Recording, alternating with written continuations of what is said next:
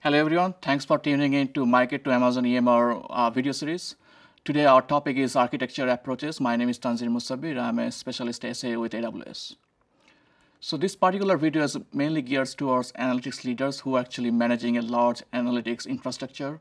It's also for infrastructure managers who are actually managing infrastructure and also Hadoop administrator who are actually managing or, or uh, trying to migrate Hadoop to cloud. So why you actually need to migrate? Definitely there is a cost uh, benefits that you can get on the cloud as well as performance. So we have a lot of customers who successfully migrated to Amazon EMR. But if you take a look at a couple of examples, for example, FINRA, FINRA actually process 135 billions of events every day to, as to look at the stock market, uh, try, to try to find out the manipulations or like insider trading and they actually migrated to Apache HBase on Amazon EMR, and they also use Amazon S3 for their data lake. And by doing that, they were able to reduce cost by 60%, and which is actually equivalent to close to 20 million of dollar. Similarly, Vanguard, they actually decreased their cost by $600,000 in less than five minutes, and they spin up 250 uh, clusters for curating their data. So we have a couple of more customer use cases uh, that actually who actually successfully migrated to Amazon EMR, and they saw the benefits of moving to Amazon EMR.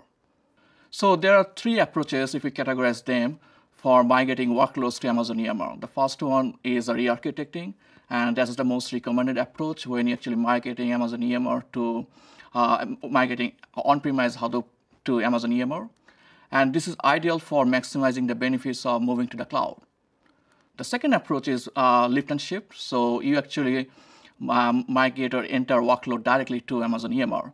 And it's ideal when you have a time in, is critical and you, you actually just migrate. The third approach is hybrid architecture. That means you are in Timecast, but at the same time, you also want to re-architect.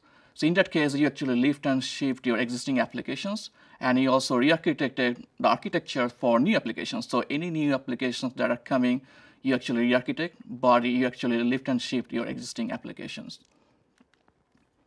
So what are some benefits like when you actually migrate uh, or follow the re-architecting approach? So as you know, Amazon S3 is a highly available storage systems, and the main benefit of re-architecting is you actually leverage the scaling of storage and computes independently. That means you can scale storage or you can scale compute independently.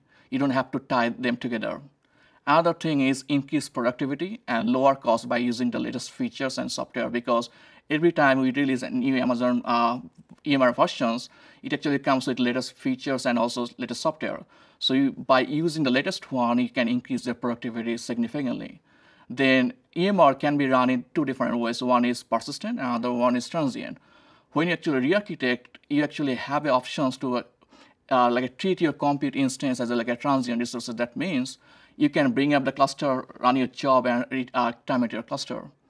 The fourth, fourth benefit is like a ability to prototype and experiment quickly. That means you can actually prototype your uh, new use case and experiment quickly because you actually re-architected your entire platform to target uh, different use cases. There are several best practices you can apply or use uh, we have a lot of reference architecture. Look for those reference architecture to see how other customers actually migrated their Hadoop workload from on-premise to EMR. The second approach that we discussed, which is lift and shift. So in a lift and shift, uh, you actually bring your entire workload directly to Amazon EMR. That means you don't need to make a lot of changes. You can just bring your workload. And it, in that way, it's actually you do less amount of like a code changes. It's less risky because you actually uh, not changing a lot of codes or configurations, and you easily bring it up to the Amazon EMR. In that case, you actually reduce your time to migrations. But yes, there are some best practices when you do that. Some uh, some of them are like a, definitely consider using Amazon S3 for your storage because when you actually use on-premise, you typically use HDFS. But when you actually move to Amazon S3 uh, as for your storage, it actually gives you better cost and availability again, if, even if you do lift and shift, application versions and different release actually comes with different feature sets. So definitely check for application versions, their configuration, because it may not be same. Similarly, if you're running Apache Spark on uh, Amazon EMR or Hive or any other applications, verify that your configuration remains same or it, it's not same when actually moving to uh, EMR because Amazon EMR release comes with different versions and different version may have different uh, configurations. So definitely look for those configuration and compare what you need to change. So if you want to know more about my, like a migration approaches, please uh, look out Amazon EMR migration guide, and we have a section uh, that actually discuss about migration approach. We also provide a free to on-site two-day workshop where we actually discuss more about different migration strategies with the hands-on lab. And you can also go to aws.amazon.com uh, slash EMR slash EMR migrations if to know more about this. Again, my name is Tanzir Musabbir. Thanks for watching.